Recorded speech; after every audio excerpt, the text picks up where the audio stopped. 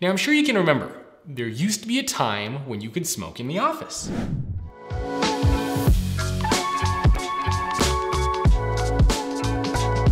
There used to be a time when you could simply work nine to five.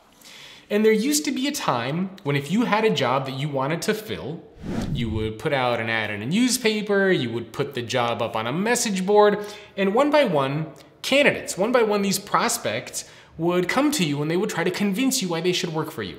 They would talk about their accomplishments, they would talk about their skills, they would talk about their experiences, all the things that they've done to try to convince you why you should hire them.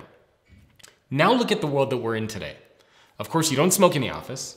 This idea of working nine to five has completely been replaced by this concept of work-life integration. And today, what happens when you have a job that you want to fill?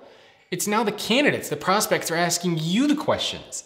They want to know what's the corporate culture like? What's your leadership style like? Is there going to be a sense of purpose and meaning? What impact am I going to have? They're asking you the questions.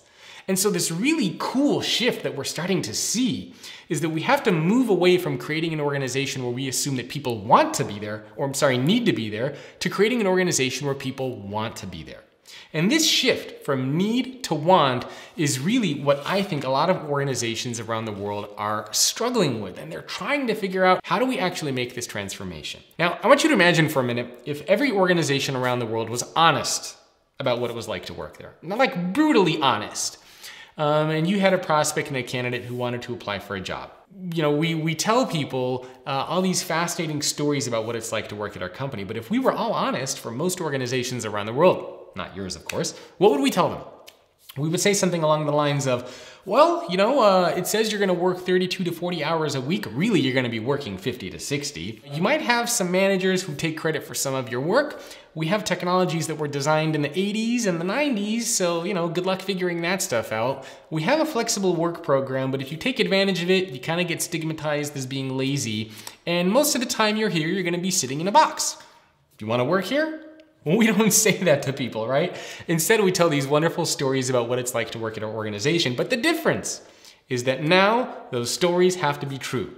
If you say that you're a great place to work, if you say your leaders care about you, if you say there's coaching and mentoring, if you say that employees are gonna make a difference, you actually need to make those things a reality. You actually have to make those things true.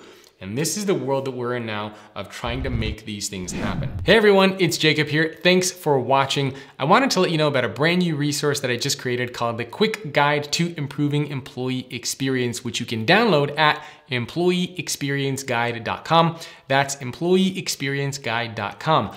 And in this PDF, you're gonna learn exactly what employee experience is, why it's important, and you're gonna get some action items, some things that you can start doing right away inside of your organization.